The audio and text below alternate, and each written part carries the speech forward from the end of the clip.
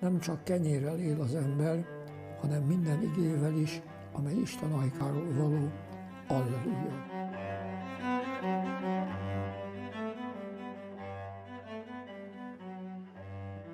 Igazságos az Úr minden útjában, és szent minden művében. Megőrzi az Úr mindazokat, akik őt szeretik.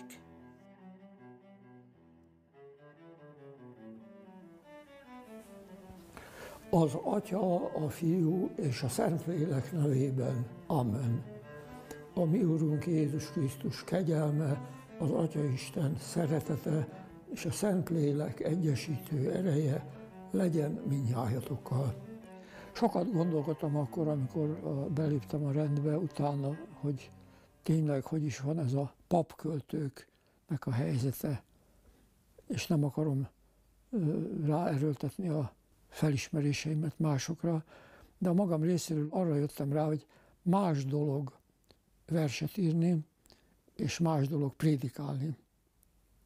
És fenyegeti a verset, hogyha a prédikáció beleszól, és talán a prédikációt is fenyegeti, hogyha költészetté válik. Tehát én úgy éreztem, hogy vagy az egyik, vagy a másik kell, hogy a életem középpontját alkossa, és akkor úgy gondoltam, hogy a prédikáció fogja alkotni, és a papságom, illetőleg hát szerzetességem, aval kevésbé fér össze a másik. Egy másfajta figyelmet igényel, és másfajta érzékenységet a lírai költészet, mint a papság. Istenem, jöjj segítségemre, segíts meg engem, segítőm és megmentőm, Te vagy, én Istenem, ne késlekedj. Az ember itt a földön nem is annyira lépésről lépésre vándorol, mint inkább keresztről keresztre száll. Az első kereszt a gyerekkor keresztje. Félelemből és bizalomból ácsolták. Méretre nem nagyobb egy kitárt karú gyermeknél. De épp ettől kereszt. Testünkre és lelkünkre szabott ellentmondás.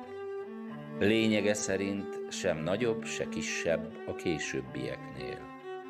Emberszabású és embertelen. Beletyújfalu utólag látom, de ez a gyerekkoromat is meghatározta, hogy egy nagyon érdekes falu. Ez egy elsősorban protestáns lakosságú falu, ugye a Bocskainak a hajdúi jöttek oda, és tették virágzóvá a falut. Katolikus alig volt Beletyújfaluban, most is kevés van, akkor is alig volt, talán mikor megyeszékhelyé lett, akkor előfordult, hogy mondjuk ilyen urak is mentek oda, akik katolikusok voltak, és a, egy kicsit felvirágzott az egyházközségnek az élete. Egy elég nagy templom van azért ahhoz képest, de oda kevesen jártak, és katolikus iskolába is sok cigány gyerek járt. Például nekem is sok cigány osztálytársam volt, nagyon érdekesek voltak, ez például alapvető élményem. Úri családból cigányok közé kerültem. Nővérem, ugye ő hamarabb lett iskolás, az első alkalommal ellopták a tíz óraiját. És akkor ment haza sírva, hogy édesanyám azt mondta, hogy két süteményt adok neked, és annak, aki ellopta tőle, adjál egyet, és akkor nem lopja el a másikat. És összebarátkoztak ezzel a megajándékozottal, úgyhogy később, mikor 11 néhány éves korában férjhez ment, akkor ruhát is vettek neki a szüleim. Édesapám ugye, mint volt piarista diák, igyekezett a katolikus egyházat úgy fölvirágoztatni. Akkoriban volt az eukarisztikus kongresszus. És akkor ő azt találta ki, hogy a templom tornyot minden éjszaka kivilágították, mikor kongresszus tartott. És az Alföldön ez Debrecenig elvilágított, vagy nem tudom meddig ez a templomtorony. Reformátusok is büszkék voltak, hogy most a Beretyújfóra figyel a környék, mert kivilágították a templomtornyát. Szóval érdekesek voltak. Én nem nagyon emlékszem a hittanórákra, őszintén szólva, de arra emlékszem, hogy templomba jártunk, és például törtem a fejben, latin volt a mise. A pap is latinul énekelt, a kántor is latinul felelgetett ő rá, És akkor én tűnődtem, hogy mi, miről szólhat ez. És azt gondoltam, hogy a jó Isten vitázik az ördöggel. És akkor talán a kántor az ördög, a pap a jó Isten képviseli, és ezek ottan vitatkoznak a fejünk fölött. És aztán ezen törtem sokáig a fejemet, de aztán rájöttem arra, hogy ez alig ha lehet igaz, mert néha mind a kettő, hol egyik, hol másik mondta azt, hogy ámen, és gondoltam, hogy az áment azt nem mondja az ördög, akkor mégse az ördög elvaló párbeszéd folyik itt, hanem valami más. Szóval érdekes volt, és sokra mindenre emlékszem, ami a egyházzal kapcsolatos dolgokban ilyen fejtörést okozott nekem. És nem nagyon kérdeztem meg, de figyeltem. És ezek emlékezetesek számomra a felismerések, vagy ilyen figyelmek. Hát ugye jó tanítóm volt, máig is emlékszem még a gesztusaira is, és nagyon érdekes volt, ahogy sok rendetlen kölyök között úgy tudott rendet teremteni, hogy nem volt félelmetes, de mégis engedelmeskedtünk neki, meg összefogta a társaságot. És ő tanított meg biciklizni például, mert nekem nem volt biciklim, de neki volt, és megtanított, és az édesapám elvitt az úszodába, és megtanultam úszni. És a úszás is, meg a kerékpározás is a későbbi életem szempontjából sokat jelentett, azt akkor nem lehetett tudni, de nagyon hálás vagyok érte, hogy ezekbe bevezettek. Egy költővel laktam egy utcába, ugye Nadányi Zoltán volt a, az a költő, aki nagyon jó költő. A tisztviselő telepen laktunk, amit akkor építettek, hogy az odaérkező tisztviselőknek legyen elegánsabb házuk. Alacsony kerítés volt, és a kerékpáron ülve én a kerítés tetejét úgy meg tudtam fogni, és megálltam, és beszélgettem azokkal, akiknek nem volt kerékpárja, de most elmentem kerékpárral újra oda, és most már úgy lefelé kell a kerékpárról nyúlni, hogyha a kerítés tetejét meg akarom fogni. Úgyhogy azóta sok minden történt a világban. Akkor átkerültünk Nagyváradra. Számomra nagyon sokat jelentett megint, mert akkor már életebb észre néztem szét magam körül. És ez pontosan jókor jött nekem, hogy a faluból, ami addig körülvett ilyen csodaként, és ott sok minden új dolog jelentkezett az életembe, de azokat én már sokkal intelligensebben vagy felnőttebben figyeltem.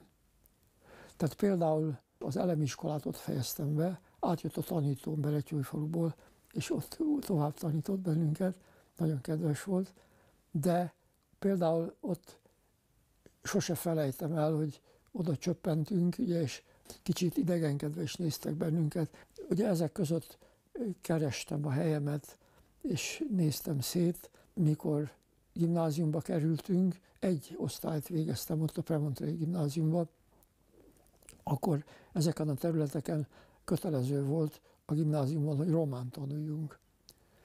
És akkor én nagyon örültem ennek, mert volt az utcánkban is román gyerek, ő többet tudott magyarul, mint én románul, az édesapja elköltözött akkor onnan a regádba keresett munkát, de még a családját ott hagyta, amíg valahogy meg nem szilárdul a helyzete. És ez a fiú bús volt, hogy ő neki el kellene mennie. És én pedig gondolkodtam ezen, hogy milyen érdekes, hogy én örülök, hogy ide jöttünk, és azért ennek ára van, mert ez megszomorkodik. És milyen érdekes ez, hogy ilyen a világ, hogy valahogy egyik ember öröme annak az az ára, hogy a másik meg lesz, és ez nincs rendjén. Tehát ez most egy túl felnőtten megfogalmazott gondolat, de ez például emlékszem nagyon, hogy ebben a különös barátságban engem foglalkoztatott. Negyedikes elemista koromban, vagy harmadikos elemista koromban, ezen törtem a fejemet. Éjszaka a negyedik őrváltás idején Jézus elindult feléjük a víz színén járva. Amikor észrevették, azt hitték, hogy kísértet, és rémületükben fölkiáltottak. Ám Jézus azonnal megszólította őket. Bátorság, én vagyok, ne féljetek. Erre Péter odaszólt neki. Uram, ha te vagy az, parancsold meg, hogy hozzád menjek a vizen. Ő azt mondta, jöjj. Péter ki is szállt a csónakból, elindult a vizen, és ment Jézus felé. De az erős szél láttán megijedt, és merülni kezdett. Felkiáltott, ments meg, Uram! Jézus nyomban kinyújtotta kezét, megfogta őt, és így szólt hozzá, te kicsinyítő, miért kételkedtél? Amikor beszálltak a bárkába, a szél elállt. A csónakban levők pedig leborultak előtte, és így szóltak, te valóban az Isten fia vagy. A második kereszt a kamaszkoré. Komoly kereszt a kamaszok keresztje. Szálkáiról elég meggyőződnünk a tékozló fiú könnyeiből. Ez a fiú bűnösségében a leghitelesebb szimbóluma Isten fiának, ahogy az elveszett bárány Isten bárányának. Hogyan lehetséges ez? Talán mivel a szimbólumok anyanyelve is az ellentétek találkozója, akár a kereszt két ága. Ez a találkozás legfőbb találkahelye a szétfeszülő mindenségnek. Emlékszem nagyon pontosan arra a pillanatra, vasárnap reggel volt, kimentünk édesapámmal együtt, még mise előtt a sarkon volt egy újságárus, és ő elővette az újságot, és olvasgatta, és akkor ott volt a fedőlapján, hogy később kezdődik az iskola, mert a hadsereget kell szállítani a frontra, akkor már háború volt. Nagyot ugrott, hogy jaj, de jó, két hónappal később kezdődik az iskola, és a korapám olyan szomorú szemmel rám nézett, és azt mondta, tudod azért, ennek sok szomorú vele járója is van, úgyhogy megértelek, hogy örülsz, de több baj lesz ebből, mint öröm. Ott volt az első bombatámadás, amire szintén nagyon pontosan emlékszem. Délelőtt voltak ilyen amerikai bombázó berepülések, és akkor légiriadó volt, és a öt órából kettő-három elmaradt, mert lementünk a pincébe. Nagy pincék voltak, és ott lehetett játszani, meg jól éreztük magunkat, és elmaradt a tanítás. És akkor egyszer csak bombázni kezdtek. Hát erről nem volt szó. És akkor megrázta a bombázás, ott, voltam a pincébe, és elkezdtünk imádkozni. Nagyon megrázó volt a dolog, de aztán lefújták a légiriadót, és gondoltam, hogy minden rendben van. Mert máig is emlékszem az útra, hogy ahogy mentem hazafelé, hát egyrészt a háztetőről valahogy leesett a, a cserép. Nem értettem, hogy mikor még oda mentem, akkor minden rendben volt. És most cserép, meg víz meg folyik az utcán, hogy közeledtem a házunkhoz, egyre nagyobb lett a zűrzavar. Tényleg a szomszéd házunkra esett egyébként egy bomba, úgyhogy a miénk is megsérült, de az meg az első emelete teljesen átütötte, hogy kisebb bomba esett rá. Ide esetek le a bombák. Hát itt nem csak valahol bombáztak, hanem itt bombáztak. Átértem a bombázást. Úgyhogy meg kellett szokni azt, hogy fegyverdörgésben élünk. Olyan katasztrófa volt a zsidó üldözés. Nekünk is voltak zsidó osztálytársaink. Egyszer csak nem jött az egyik iskolába. És akkor kiderült, hogy ez öngyilkos lett az egész család. Hát első gimnazistaként át kellett élnem, hogy az osztálytársam egész családja öngyilkos lett. Erről nem volt egy családi, hát nem tudom, eszmecsere, ahol erről megbeszéltük ennek a tanulságait, hanem egyedül küzdöttem vele tulajdonképpen, mert nem akartam másokat elkeseríteni, de hát ezek megdöbbentő dolgok voltak. Én Istenem, ne késlekedj! Add meg nekünk a Szentlélek által a szelítséget, a jószívűséget és a türelmet. Mi egy egyemeletes házban laktunk, és annak a teraszáról átláttunk a szomszéd házra, amelyik egy kis villa volt, földszintes. Abban egy zsidó öreg bácsi lakott. Akkor ő kijött, és magára vette a köpönyegét, hogy a sárga csillagot elfödje, hogy így fog majd menni az utcán, és próbálgatta, hogyha, kinyitja, hogyha ismerőssel találkozik, akkor kinyitja, hogy lássa, hogy van rajta csillag. Ne, nem büntessék meg. De hogyha nem, akkor becsukja, hogy az emberek ne köpjék le, vagy ne megvetéssel nézenek rá. És ezt látta. És például ez, hogy ez, hogy ez az ember, ez a bácsi, ez most próbálgatja ezt a sárga csillagot.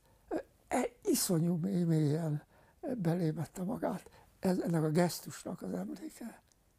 És akkor hát ugye a nővérem, nővérem Pesten járt gimnáziumba, még korábban oda került, mielőtt még mi a Váradra költöztünk volna, és akkor volt érettségiző, amikor én első gimnazista voltam, Pestről hazajött Váradra, és ott érettségizett egy ottani iskolába, hogy meglegyen az érettségi vizsgája. Nem lehetett tudni azt, hogy hogy lesz tovább.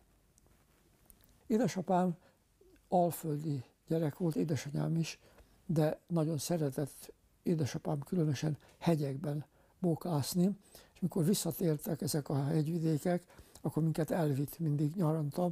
Korábban Telkibánya vidékére mentünk is gyerekkoromba, és mikor visszatértek ezek a vidékek, Pihari havasokba bementünk, olyan vidékre, ahol például egy román faluban laktunk, és egy román parasztházban egy szobát béreltünk.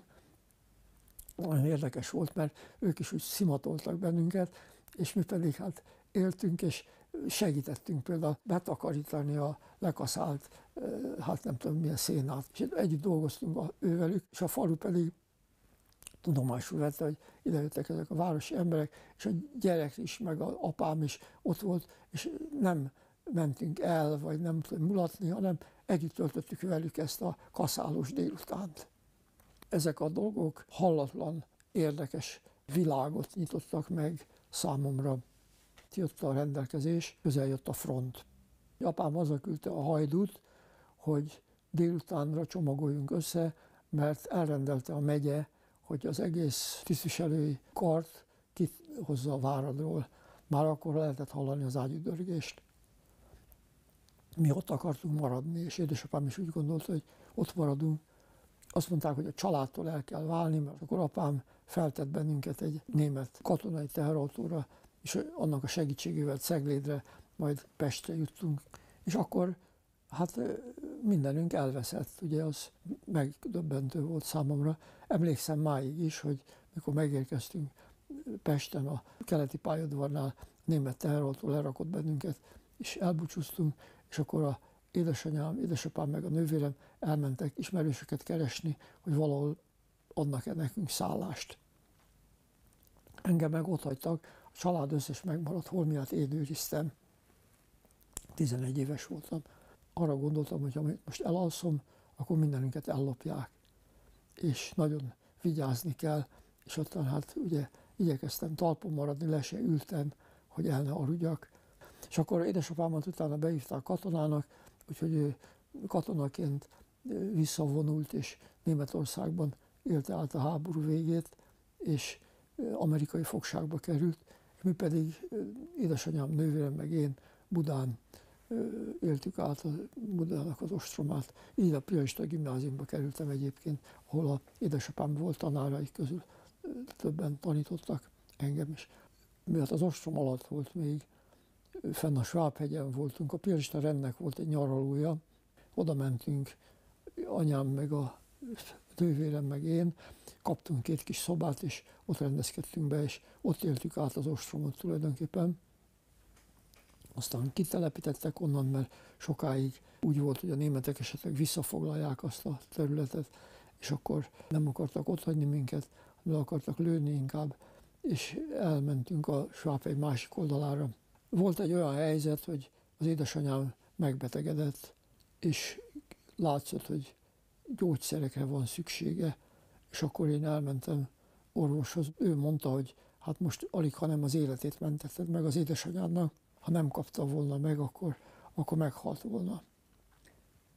De még akkor lőttek, tehát nem nagyon járkáltak egyébként az emberek, de hát, hogyha muszáj volt, akkor, akkor el kellett menni, és minden megoldódott. Azért ez a gondviseléssel való találkozásnak is az alkalma.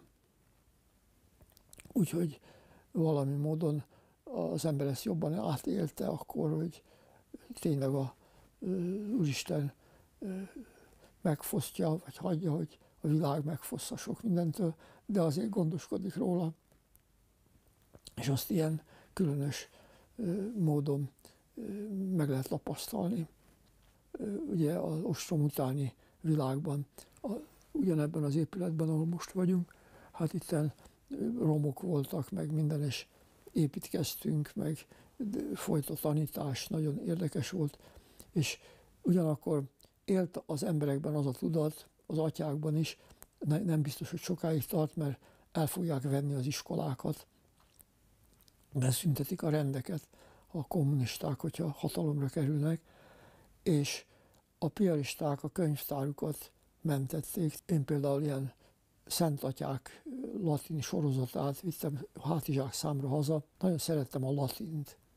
És a szabad időmben ezeket olvastam, de négy évet tanultam latint, de neki vágtam. Szent Ágostot nagyon megszerettem, és valahogy érdekes volt, hogy az a világ, Szent Ágoston ugye a barbároknak a támadásait élte meg, és én is egy ilyen barbárok által megtámadott világban nagyon rokon szenvesnek találtam, és nagyon érdekesnek ezt a nyelvi felfedező utat, hogy egy idegen nyelven turkálok, és meg felfedezem is magamnak, és nagyon sokat jelentett számomra a szent atyákkal, meg ezzel a régi ágostoni történelemlátással való találkozás, hogy a történelem az tulajdonképpen a gondviseléstől átszőve többet ért, mint sok személyes találkozás, ami szintén fontos volt az életemben.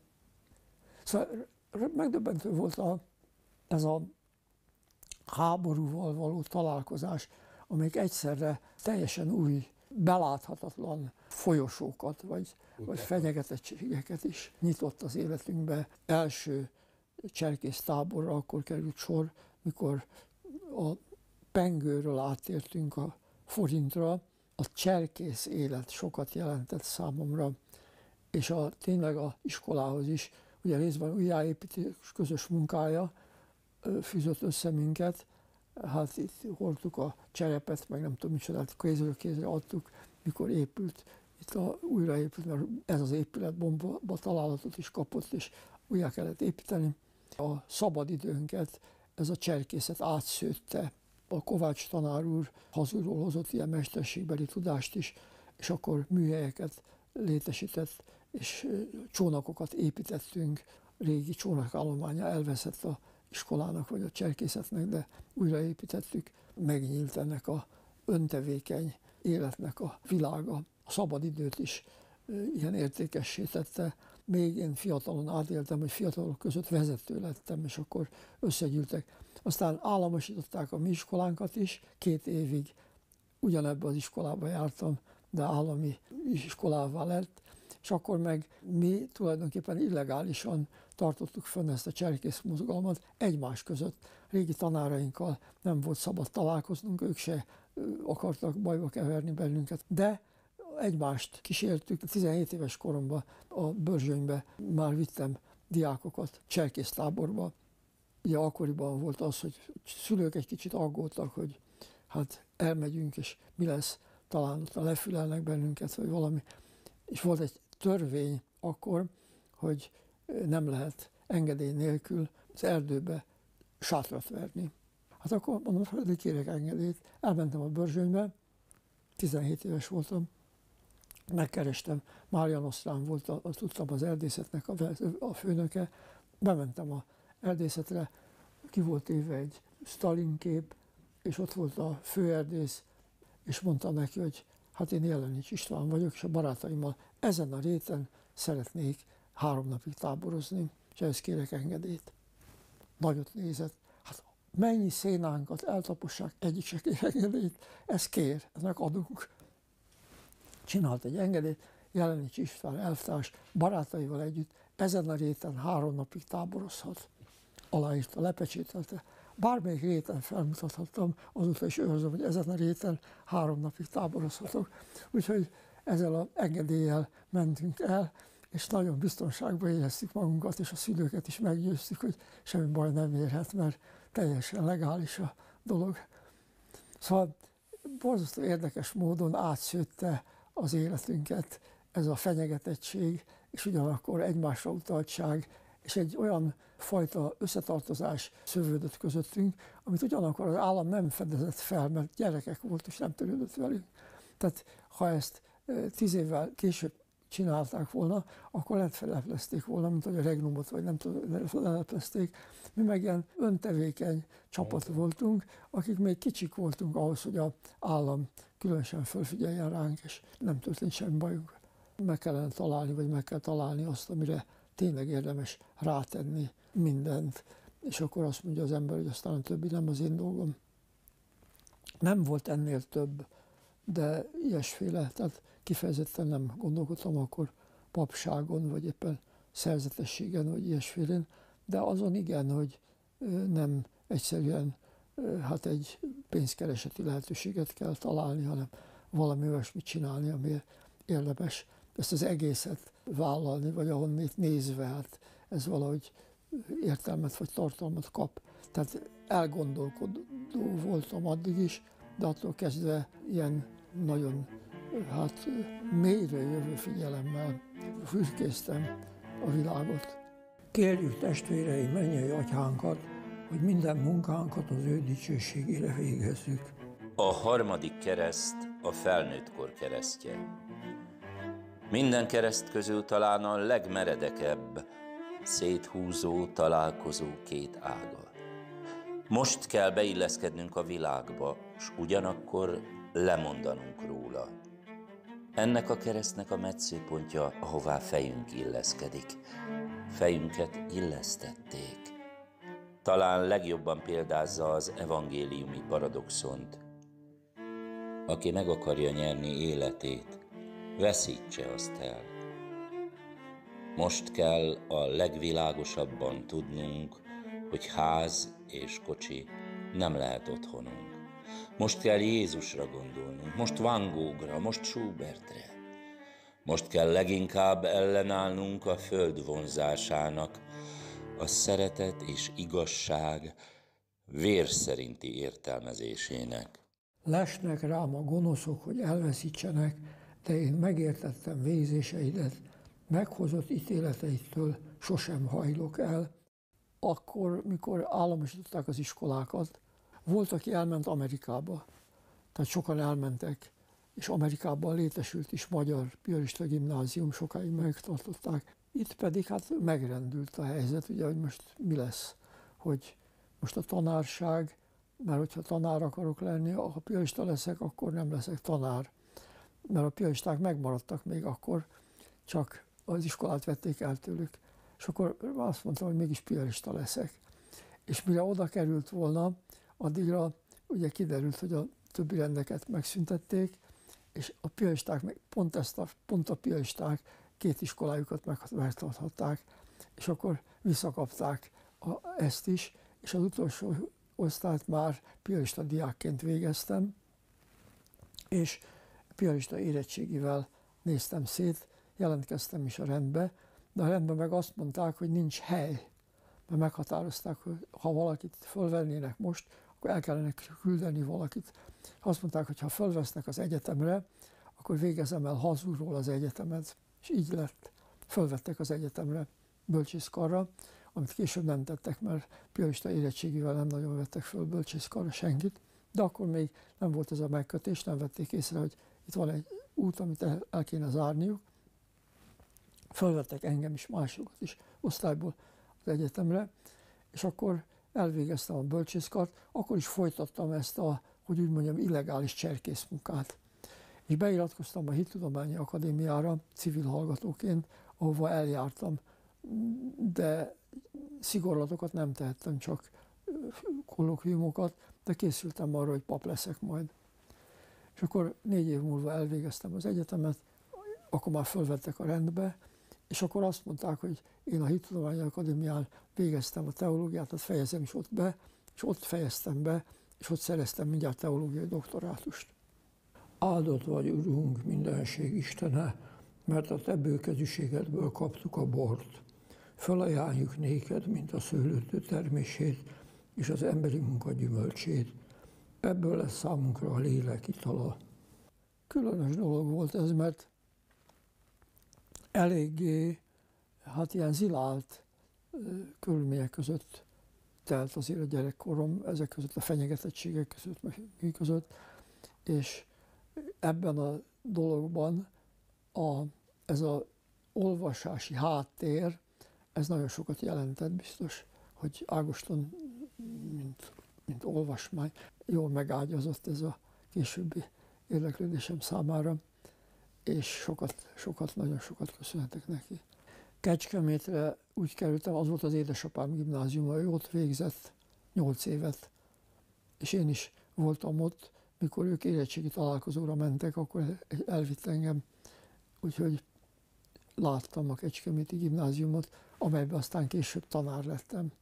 Sőt, a rövid időre a kollégiumnak az igazgatója is. És ezeket az alföldi fiatalokat is lehetett abba belevezetni, szívesen jártak velem. Ott sokat kirándultunk kerékpárral. És nyaranként elvittem őket szét az egész országban. Úgyhogy hát ebben volt már tapasztalatom. Korábban vizitúrára mentünk, vagy pedig hát ugye állótáborba, hegyvidékre, de most rászoktunk ezekre a kerékpártúrákra, úgyhogy én meg a rövid idő alatt a kecskeméti diákokkal Lengyelországba is elmentem, meg a felvidéken is csináltunk túrákat, hogy Nagy Magyarországba bevigyem. Volt olyan gyerek, aki életében nem járt hegyen. Tehát a moziba látott hegyet, meg a tévében, de nem járt soha hegyen. És akkor átmentünk a Kárpátokon. És utána is pap lett belőle, és mondta, hogy a falujából is elviszi mindig az, ember, az embereket Lengyelországba, a Máriához, Csensztóvába, máshonnan látja a világ. Nem csak a iskolai tananyagot tanítottuk, hanem moziba mentünk, elmentünk a színházba, valahogy a kultúrával kapcsolatot tartottunk, és az ott lévő értékekre, vagy igazi izgalmas dolgokra rámutattunk, segítettünk, kalauzoltuk a fiatalokat ebben, Pesten különösen, Kecskeméten is sokat jelentett ez, legyen az iskola, éppen magyar tanítás, hát olyan élő kapcsolatteremtés. Írókat is hívtam ide, akik eljöttek. Órát beszéltek a saját költészetükről. Ország lassanként szedte össze magát, meg a szülőknek nem volt ráérő ideje. A szünidőben is mi vittük őket a Balatonra, vagy pedig hát a hegyek közé, esetleg biciklitúrára, Székelyföldre, és így tovább. És másrészt pedig itthon is, hát a, a világnézeti tájékozódásukban mellettük voltunk, vagy segít. Pláne nekem könnyebb volt a helyzetem, mert egy olyan tanári karban tanítottam, ahol többnyire a valaha volt tanáraimmal együtt tanítottam, és én voltam az egyik legfiatalabb közöttük, tehát ilyen szempontból is szerencsésebbek, közelebb érezték magukat a diákok hozzám, mint a idősebbekhez, akiket egyébként szintén a maguk helyén nagyon nagyra becsültek. A legfontosabb ilyen nevelő vagy lelkipásztori munkám az a, azokhoz a fiatalokhoz kapcsolt, akik körül, körülöttem összegyűltek, nem miattam, hanem a életük folyamán. De érdekes mindenképpen, és számomra is sokat jelentett. Úgy alakultak az életkörülményeim, hogy olyan hozzám hasonló korú emberekkel hozott össze az élet, akik csak ugyan szokatlan igényességgel fordultak az életnek a titkaihoz és a hitnek a világához is. Hát ezek az emberek azért jutottak el hozzám, mert valamilyen módon gazdátlanná lettek, amikor mondjuk a hajdani iskolájukat bezárták, azoknak a papjait szétzavarták. A mi iskolánk meg megmaradt valahogyan, és akkor a volt ciszterdiákok közül is egy-kettő oda gyűlt, mert egy, hallgatott egy prédikációt, ami emlékeztette őt a gyerekkora világára. Ha már épp az a három ember szóba kerül, ők szorosan hogy egymáshoz is tartoztak bizonyos mértékig.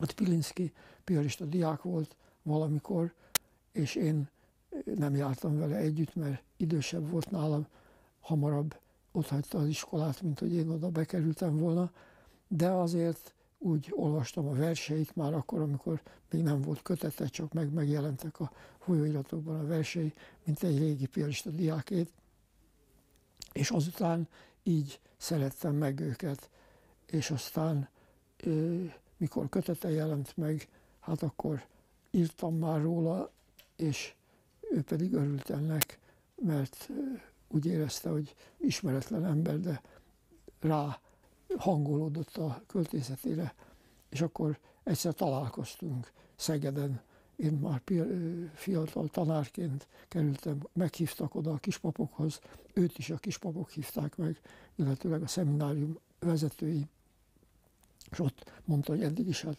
voltunk, levelező viszonyban voltunk, de most akkor találkoztunk, és akkor tegeződjünk, és hát attól kezdve meg, hogy azt nem is tudtam, hogy én, te is piarista diák voltál, hát akkor mindjárt más, mert piarista diákok összetartanak, vagy testvéri viszonyban vannak egymással, akkor is, hogyha az iskolában nem találkoztak, közös tanáraink voltak.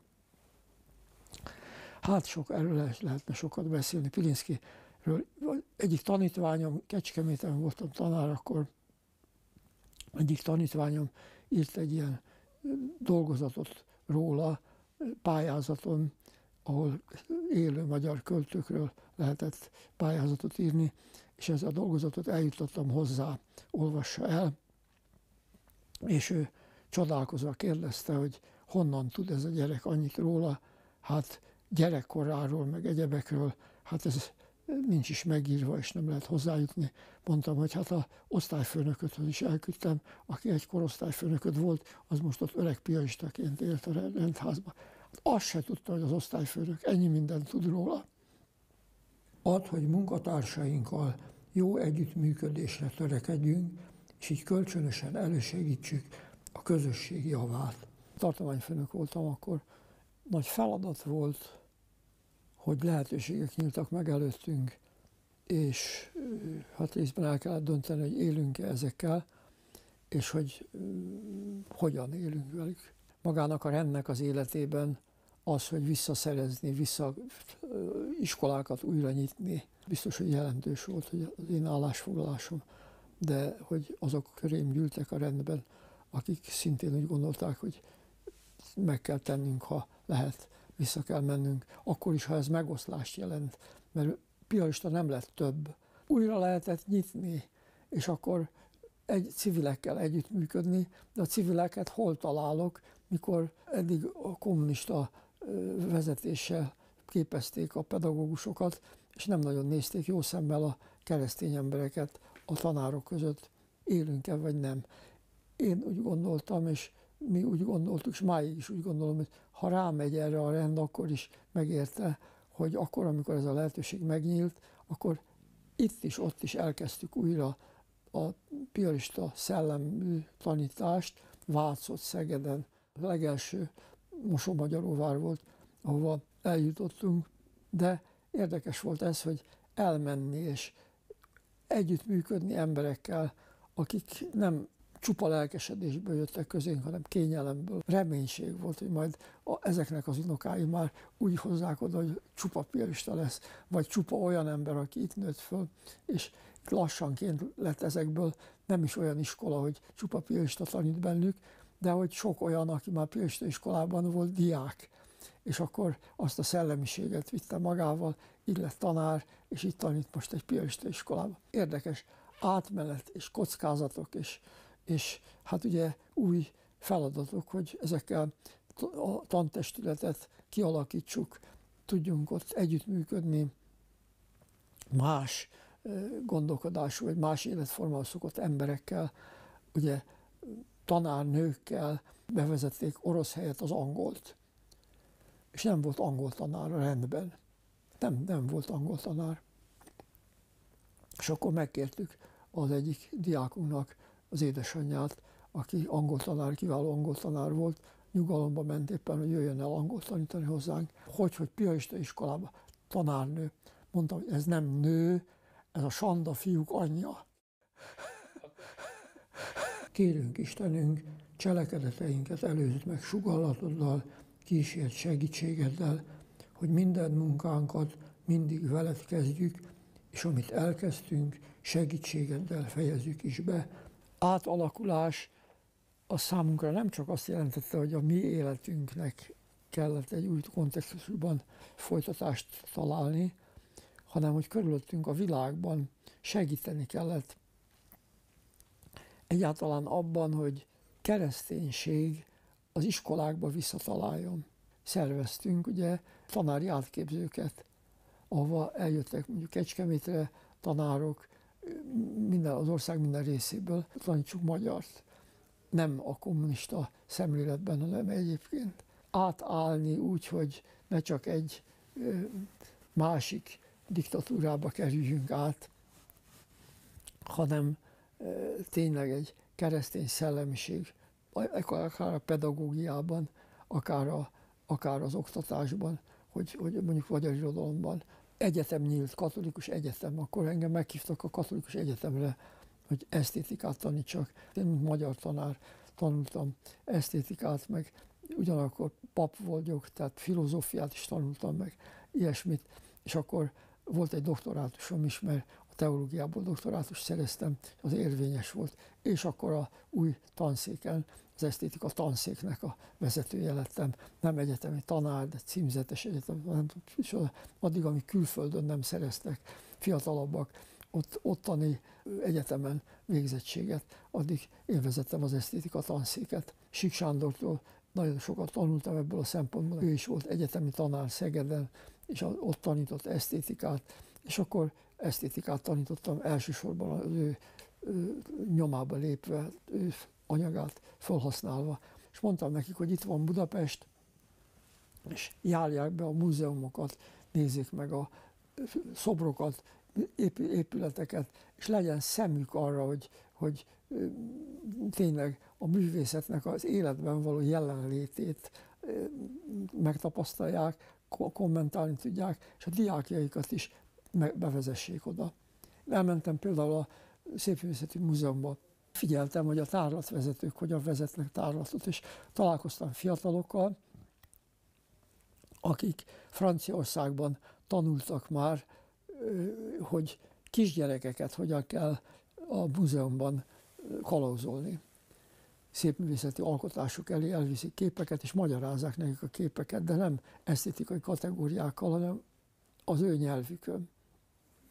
Akkor elvittem a diákjaimat is oda, hallgassuk meg, amit ezek Franciaországban tanulnak, és figyeljétek meg, hogy hogy kell egy kép, képet magyarázni. Ő ne csak hát a tananyagot tanulja meg, hanem a életbe ezeket a új megjelenő motivumokat vegye észre, diákjait is megtanítani arra, hogy tényleg a művészetet a maga helyén értékelni tudják, meg a nyelvén beszélni tudjanak. Az utolsó kereszt az öregkoré. A legsúlyosabb és a legkönnyebb kereszt, mivel az utolsó. Ezért egyszerre a legirreálisabb és legreálisabb. Olajfák keresztje, agónia a neve. Három fajtáját ismerjük. Az egyik Jézusé, a második a jobb, a harmadik a ballatoré. Nekünk esendő embereknek, ha utolsó keresztünkről beszélünk, gondolkodunk, épp elegendő a jobblator keresztjét választanunk. Hogy mit jelent ez? Először is, hogy szívünket és szemünket a középső keresztre függesztjük, önbizalmunkat bizalomra, igazunkat igazságra, féltékenységgel vegyes szeretetünket szeretetre, ítéleteinket bűnbánatra és beismerésre cseréljük fel. A többi kegyelem. A kereszt minden ellentmondás fölülmúlása. Az Atya mindannyiunk irgalmas Istene. Jézus barátságába fogadta a jobblatort, de egyetlen ítélkező szava se volt a ballatorhoz, és elnémuló ajka egyetlen nagy imádság volt, valamennyiünkért. Ezzel a verssel kapcsolatban egy hajnali szedelőcködésre gondolok, körülöttünk megvirad, de az életünk maga egy ilyen félhomályban telik, és és tudja a csoda, hogy azt, azt ki tudjuk számítani, hogy mikor kell fel a nap, hogy az életünkben mikor lesz világos, az nem derül ki. Felültjük ingünket, ruhánkat, és begomboljuk a halálunkat, mert arra készülünk, hogy az előbb-utóbb eljön. Többit meg ez, ez valahol a messzeségben, valahol utána sejtjük a szellőt, meg a folyót, meg a viradatot. Most ezek a szépek vagy érdekesek, és ezek azok, amik a Pilinszki költészetét egy, csodálatos sejtelmekkel itatják át, vagy fényekkel világítják be.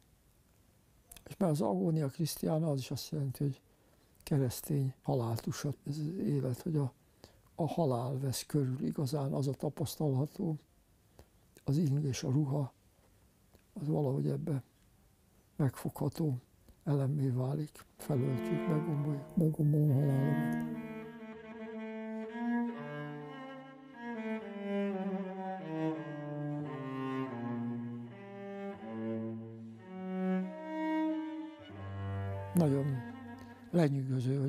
Jézus egy ilyen kenyertörést hagyott ránk búcsúzásul, és így maradt közöttünk kenyérként, borként, ez az én testem, ez az én vélem, ami titok, nem értjük, de ugyanakkor valahogy mégis nem idegen dolog, amit hordozunk, mint valami kitüntetést vagy terhet, hanem az életünknek nagyon eleven tartó elemévé vagy részévé válik, csak ugyan, hogy így van köztünk, nem csak a igéivel, amelyeket ránk hagyott, hanem tényleg az utolsó vacsorának ezzel a jelenlétével. Ez az én vérem kejhe, az új és örök szövetségé. Ez a vér, értetek, és sokakért kiontatik a bűnök bocsánatára. Ezt cselekedjétek az én emlékezetemre. És ezt kínálja, e körül gyűjti össze az egyházat. Hát ez nagyon meghatározó az életünkben. Ő általa, ő vele és ő benne a tiéd, mindenható Atya Isten, a Szent Lélekkel egységben, minden tisztelet és dicsőség, mindörökkön, örökké. Amen. Akkor is érezzük, amikor, mint most például, hogy nem nagyon lehet misét tartani, vagy csak nagy megkötések között a járvány miatt, és akkor interneten így úgy kapcsolódnak az emberek a szemmise cselekményeihez, és ez is érdekes, mert a szavunk eljut hozzájuk, és a gesztusaink is annak a képe, de azért annál elevenebben érezzük, hogy ez a közös jelenlét az oltár körül, meg a eukarisztiának a lakoma jellege, ez mennyire eleven egyébként, és mennyire visszavágyunk hozzá. Nehezen igazodom el a mai oktatásban. Előfordult az, hogy mikor már nem tanítottam többé, akkor mondjuk meg-meghívtak magyar tanárok, hogy például Pilinszkiről tartsak órákat. A, volt diákom, aki tanár volt, és meghívott erre, megköszönte, és azt mondta, hogy nagyon érdekes volt megint, de tudod, most már nem lehet így tanítani. Ott utána nem hívott meg, és a többiek se hívtak meg többet, hogy, hogy nem, nem, nem lehet úgy tanítani, mint régen. A tanár nem nagyon magyaráz, hanem kérdez, és a gyerek próbál kitalálni valamit, akkor a tanár kiválasztja, hogy melyik jó, és így tovább. Más sá vált az iskola. Gépeknek a világa is ez, hogy ugye sok számítógép, meg nem tudom, minden van, és azokban gondolkodnak az emberek. Tehát kérdések vannak, hirtelen feleletek, villanások, stb. abból tevődik össze, végén a tanár valamit csinál az egészből. Ezt én már nem tudom, és nem is akarom tudni, ez nem a mi világunk, nem rosszabb, más. Ez nem a mi dolgunk, hanem az Úristené. Tehát neki kell megoldania. Magam se tudom elképzelni a, a jelenlegi helyzetét, akár egy szülőnek, akár egy tanárnak, mert az a fajta figyelem, ami régen stabil módon oda szegődött egy emberhez, az, az, az most nincsen. A fiatal ember, a gyerek gépeket kezel, olyan gépeket, amiket esetleg a szülei se értenek, jobban ért hozzájuk ő, mint a szülei, és ki van szolgáltatva a, a világnak, és abból kell, hogy összeszedje a maga tapasztalatait, és ebben segít valamiképpen a tanár ügyesen nem tudom hogyan, azt gondolom, hogy nagyon nagy átalakuláson megy át a világ.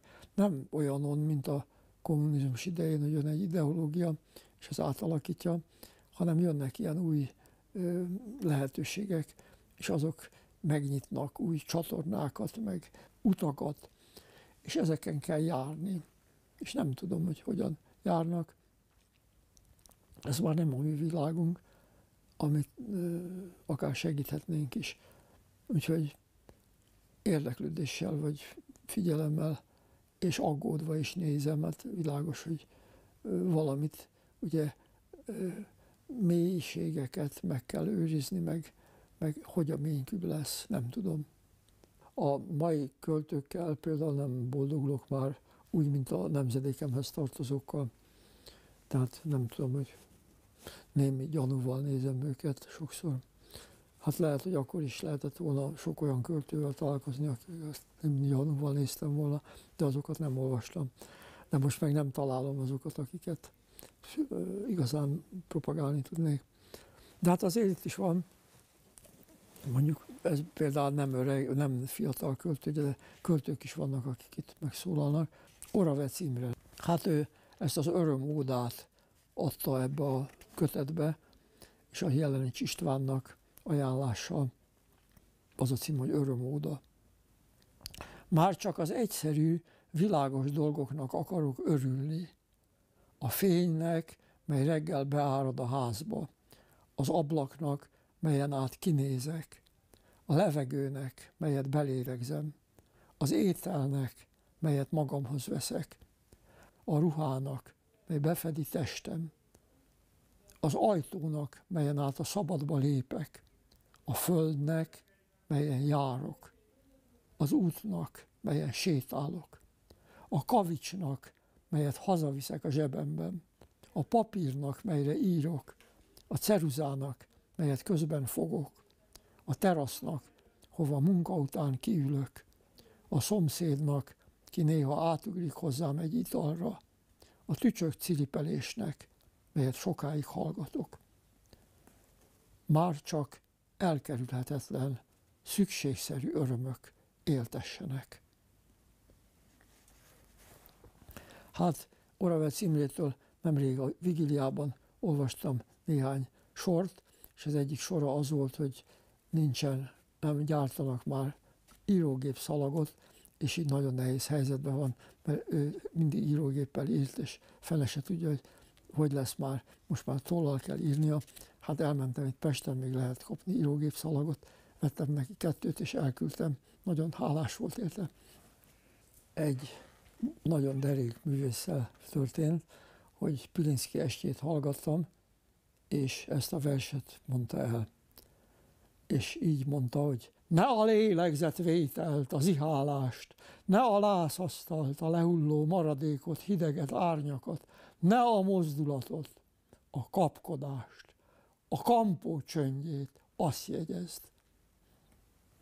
Hát ugye ezt úgy kell, hogy közbe kell képzelni azt, hogy hanem. Ne a lélegzetvételt, hanem a zihálást. És ezt így kell szavalni, hogy ne a lélegzetvételt, a zihálást, ne a nászasztalt, a lehulló maradékot, hideget, árnyakat, ne a mozdulatot, a kapkodást, a kampó csöndjét, azt jegyezd. Arra figyelj, amire városod, az örök város máig is figyel, tornyaival, tetőivel, élő és halott polgáraival. És akkor talán még napjaidban hillathatod azt, amiről hírt adnod itt egyedül érdemes. Írnok, akkor talán nem jártál itt hiába, amit a másik jelentéktelennek minősít, vagy esetleg szégyelni valónak. Ez az igazán figyelemre méltó, és érték, és maradandó. Arra figyelj, amire városod, az örök város máig is figyel. Ez az örök város, ez a menny, ez a másik világ, tornyaival, tetőivel, élő és halott polgáraival. Akkor, ha erre képes vagy, talán még napjaidban hírlathatod azt, amiről hírt adnod itt egyedül érdemes. A bukásról érdemes hírt adni. A utolsó pillanatban tett kétségbeesett mozdulatokról, és nem a nászasztalról, meg nem a mutatványos csodákról. Írnak, akkor talán nem jártál itt hiába.